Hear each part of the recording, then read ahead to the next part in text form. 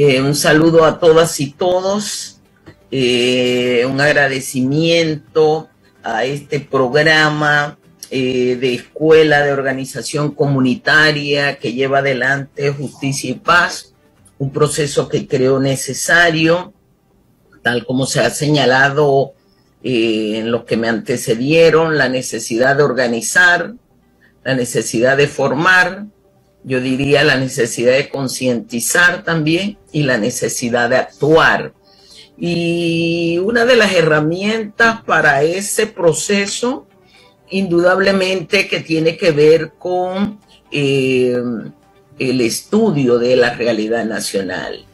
Y nosotros partimos de un hecho, y es que la realidad nacional va más allá del grado de conciencia que podamos tener cada uno de nosotros. Hay una serie de fenómenos que se están dando que desconocemos, pero que impactan nuestras vidas, tiene consecuencias en nuestra vida. Y por eso es necesario estas reflexiones sobre la realidad nacional, eh, que pudiera profundizarse aún más yendo a lo que se denomina análisis de coyuntura, eh, porque en la coyuntura tratamos de explicarnos otras cosas más allá de describir algunos fenómenos económicos, sociales, políticos, ambientales, culturales que pudieran estar sucediendo. Yo parto de un concepto y es que ese concepto tiene que ver con lo que denominamos pensamiento crítico. El pensamiento crítico me lleva a una reflexión en torno a cuáles son los problemas en torno a cuáles son las causas de esos problemas y en la necesidad de establecer propuestas para la solución de los problemas, pero sobre todo a identificarnos, a tomar posición. Aquí se hizo mención a la doctrina social de la iglesia, es decir, la iglesia conocedora de una realidad nacional toma posición en su doctrina social. Y esa posición está valorada en lo que acabamos de ver, escuchar, eso de los nadies. ¿Y quiénes son los nadies? Porque generalmente, a pesar de que creemos que no nos tocas, resulta ser que en el conjunto de la realidad nacional, la mayoría está en los nadies. Que yo tendría una discrepancia solo con Galeano en el sentido de que los economistas, y yo soy economista, pero hay un conjunto de economistas que han reducido el problema a número, 20% de pobreza, 10.9 de desempleo, y en el número perdemos al individuo, a la colectividad. Y eso en una política económica resulta nefasto en la medida de que nos acostumbran a que lo que vale es lo cuantitativo y no lo cualitativo. Y en la realidad nacional tenemos que tener claro este análisis desde la perspectiva cuantitativa, que es necesaria, pero sobre todo la política eh, y el análisis cualitativo, la calidad. Y aquí es donde yo coincido con la iglesia en el sentido de esa doctrina social que coloca un elemento en el centro y que debe ser el centro de la realidad nacional, la vida. Yo digo la vida digna. Y lamentablemente hoy tenemos que poner apellido. La vida por sí sola debe ser digna. Pero hay un conjunto de factores que generan un proceso que atenta contra la vida digna. Y cuando hablamos de vida digna, yo me voy a la realidad nacional y digo qué está pasando en Panamá. Y yo parto de un análisis de crisis. ¿Y qué es la crisis? Para nosotros los economistas, la crisis expresa contradicciones. Las contradicciones pueden ser antagónicas, es decir, irreconciliables. Pueden ser no antagónicas, es decir, tenemos diferencias que pueden ser conciliadas. La crisis puede ser estructural, puede ser coyuntural, global, generalizada. ¿Dónde está Panamá? Desde antes de la pandemia, decíamos, vivimos una profunda crisis que se expresa en todo el quehacer social, en la parte política, en la parte económica, en la parte social, en la parte ambiental, en la parte cultural de nuestras identidades, que nos mantiene efectivamente en un estado de situación que no permite caminar hacia los determinantes que hacen la vida saludable. Acceso a alimentos, acceso a agua potable, un tema que generó y sigue generando gran descontento en nuestro país, a pesar de que en Panamá existen 52 cuencas hidrográficas suficientes para abastecer un país que no llega a los 5 millones de habitantes. Está más o menos, según el último censo, en 4.5 millones de habitantes. Pero hay un número plural de panameños, 10% de la población que no tiene acceso al agua. Y hay otro número significativo que no tiene acceso al agua 724. ¿Qué ha hecho la política económica? Cuando hablamos de los determinantes de la salud, estoy hablando de empleo digno y salario justo. Pero en Panamá, más del 60% de los trabajadores deben un salario que no le permite cubrir sus necesidades fundamentales de vida. Estamos hablando de un país en donde eh, los temas ambientales vienen siendo profundizados. Hay una degradación ambiental que atenta contra la vida en función de que se imponen los criterios de ganancia, de máximas ganancias, de incorporar los beneficios a las multinacionales, a las transnacionales, por encima de lo que los economistas llamamos los impactos, las externalidades que generan determinados proyectos económicos. Y que si los cuantificáramos y los restáramos del crecimiento económico, indudablemente que los resultados serían otros y no los que se venden. Estamos hablando de un país donde nuestras identidades son sometidas a la comercialización, en donde eh, la cultura originaria es vista como eh, de segunda mano, relegada, como decía la canción, que tiene que ver con los nadies. No hacemos, decía, arte, sino que estamos hablando de que establecemos artesanías se relega, es un concepto que nos impone. Si voy al punto de vista de la seguridad social, el 60% de los pensionados gana, percibe pensiones inferiores a los 500 balboas en un país que ha sido ubicado como la veinteava ciudad más cara del mundo. Si me voy a empleo, el 60% de los trabajadores está en informalidad laboral. Panamá ocupa el puesto número 18 a nivel mundial con mayor informalidad laboral. Esos son los problemas y cuáles son las causas de esos problemas. Porque no basta con tener una descripción de muchos de los problemas que tenemos, sino dónde están las causas un tema que se puso en la mesa única de Penonomé y que generó, tengo que señalarlo, malestar. Porque hemos hablado de que Panamá sigue siendo un país profundamente inequitativo, un país con el sexto lugar con mayor desigualdad en la distribución de la riqueza, un país donde hay crecimiento económico, pero no hay bienestar humano.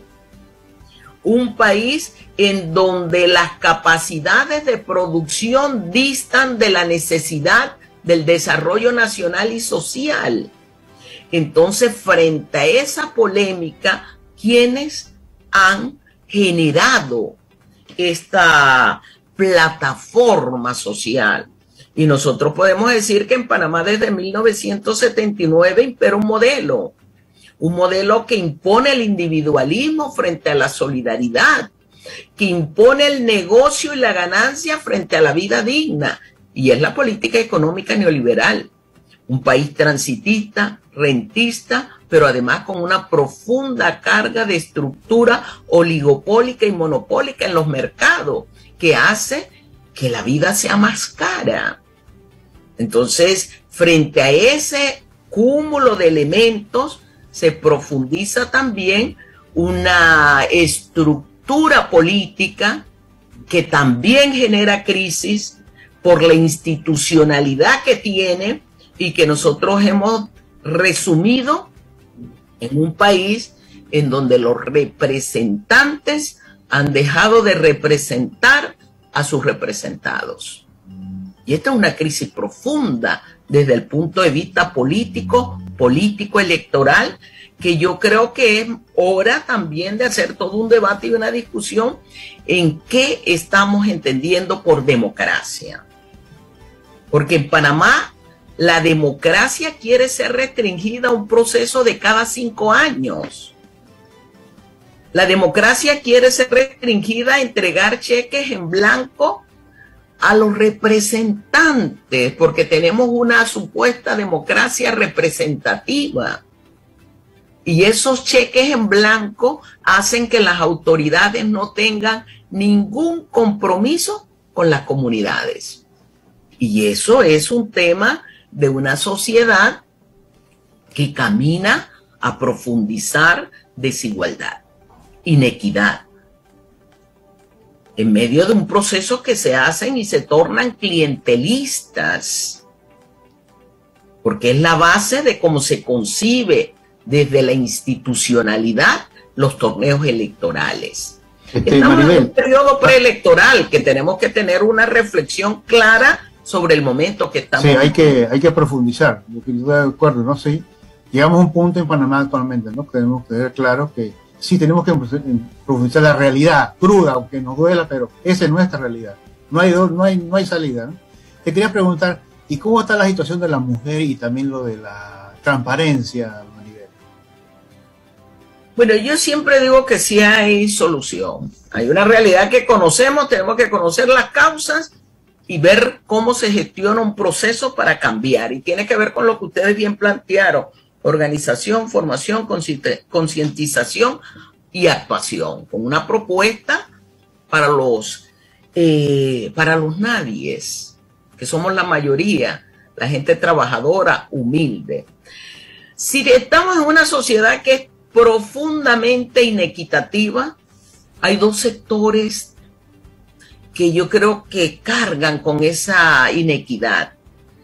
Eh, la juventud y la mujer, profundamente, y los pueblos originarios, campesinos, afrodescendientes, que son completamente marginados de toda política pública y que se les utiliza en el marco de lo electoral, en el marco de lo institucional, pero que no llevan precisamente a una participación directa en la toma de decisiones. Y la toma de decisiones va más allá de lo electoral. Aquí se ha creado un instituto de, eh, perdón, un ministerio de la mujer que tiene como característica la institucionalidad. Y fíjense, no estoy enterando a señalar si es necesario o no. Lo que estoy señalando es que se crea una institución sin recursos, sin una política clara de la participación y en donde se nos trata como espacios, el espacio de la mujer, el espacio de la juventud, la Secretaría Indígena, pero no formamos parte de una política integral de desarrollo nacional y de desarrollo social. Entonces, cuando se acuerdan, cuando llega el 8 de marzo, ah, el Ministerio de la Mujer cuando hay que firmar algún convenio que exigen los acuerdos internacionales, ahí estamos las mujeres. Cuando viene el pacto por la mujer en el proceso electoral, ahí estamos las mujeres. Pero ¿dónde estamos las mujeres cuando hay que tomar decisiones? Cuando tenemos que organizarnos, cuando debemos participar. Y no es que la mujer no esté organizada.